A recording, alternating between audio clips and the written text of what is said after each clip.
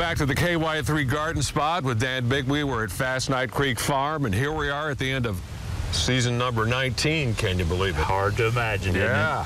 Who would ever thought last week when we were in our shirt sleeves we'd need a fire Yeah. to, to film our last segment, but uh, we're past all the pumpkin selling and all the flowers are in the frost, and now it's time to get busy, and we spend a lot of time in the wintertime trying to improve the property Yeah. and uh, eliminate a lot of the big trees that shadow the fields and things. And some of them we can dig out with the backhoe, but some of them we got to do it the old-fashioned way, like Mr. Frank Phipps taught me. He dug out many a tree and cleared many a field to grow tomatoes for the cannery. And Yeah. he taught me this little trick that if you can't pull one out, you just cut a little hole in the top and start a fire, and Okay. pretty soon it'll be gone. So. Bring the weenies or marshmallows. Yeah, we uh, got the Bradford pears, and this is a tree of heaven over here. We've got a lot of silver maples and uh, elms that just don't do us any good. And we've got five acres of woods in behind us here that we're hoping to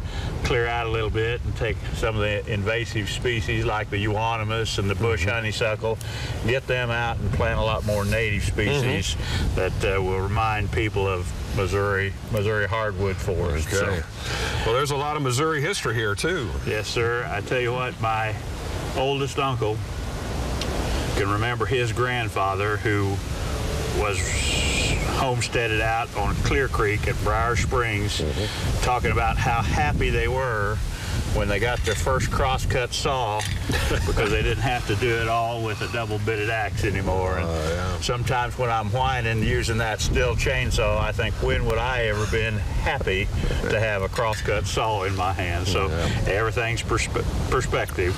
All righty. Well, everybody came out and got flowers, it looks like. Yeah, we had a great weekend. We opened up the farm to folks and they came and the joy that was spread people were coming and giving folks to flowers to their friends their mothers people in the hospital and it was a really nice way to end up the season had a good season sold a lot of pumpkins and produce and it just i'm always amazed at the good customers and Uh-huh. the people that watch us on ky3 and just want to say thank you from the bottom of my heart and hopefully both of us will be around for year 20 All right. Well, we'll look forward to new adventures down here in the dirt, Dan. You betcha. All right. We'll see you next year.